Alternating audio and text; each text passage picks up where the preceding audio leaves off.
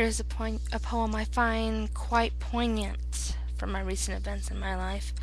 And I've been looking over some old poems that I had published, and this poem is called Hills, published in the Under the Yucca anthology, 2003.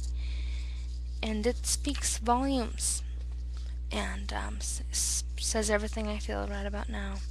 So I'm going to read this for you and um, all my friends here and for anyone who wishes to hear this poem.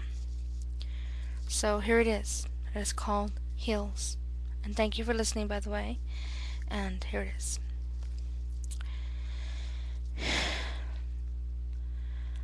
I sit at the edge of the couch, breathing, sheathing my memories for better days, rocking myself in a hidden balance, weighing and measuring the cost of voice softly I lay my raging worries down upon the couch, scatter tossaways, holding my hands in a regretful grip, afraid to speak of the fist and the whip. Crows call out in the field of my head, warning me of things to dread that may come.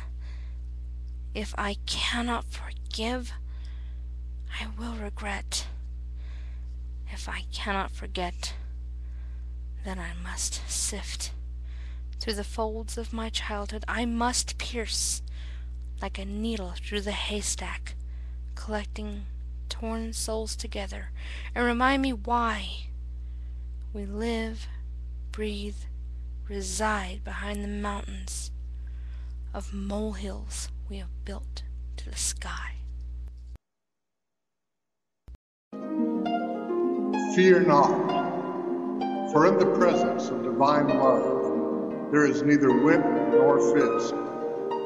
Forgiveness is just a breath away.